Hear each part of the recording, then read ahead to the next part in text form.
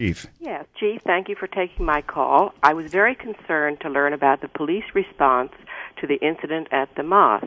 Uh, it seems that the women wanted to uh, merely worship alongside the men, and it must not be something that they allow. But why were the police uh, called? And secondly, what was their response? It seems that they attempted to lead the women away. Is that their responsibility? Uh, I'll be very interested to hear what you have to say. Let me just brief our listeners if they're not up to speed, because I was not, I'll admit, I was not up to speed on this. Uh, women and men pray in separate sections of mosques. And some women have tried to, uh, for lack of a better term, inf- infiltrate the, the male side of the mosque d- during prayers. And they are asked to leave.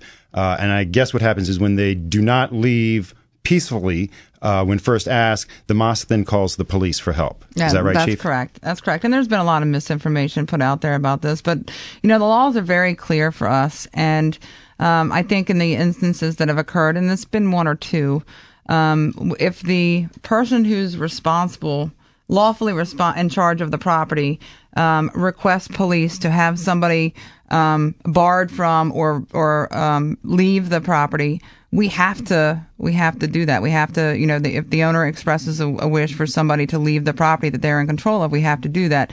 Um, and or and or if they bar somebody from the property, there actually is uh, laws on the books about disrupting a religious service. And in this case, if the the person legally in charge of the property says that this activity is disrupting a legal uh, a religious service, uh, and they would like to have people leave the property, we do, uh, we, and we have gone and asked them to leave the property. We make no attempts to separate males from females and where they worship. And, you know, that's really none of our concern. Our concern is, is that we were asked to respond by the person in charge of private property and asked to have someone who was disrupting a service um, leave the building.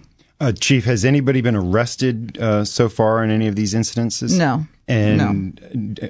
do they all leave peacefully? Is is is or anybody? I mean, I don't want to use the word roughed up, but do you guys ever have to actually physically remove anybody from a mosque? No, we've had no circumstances like that. Okay, Chief. Let, let me ask you uh, something that's been in the news a lot lately.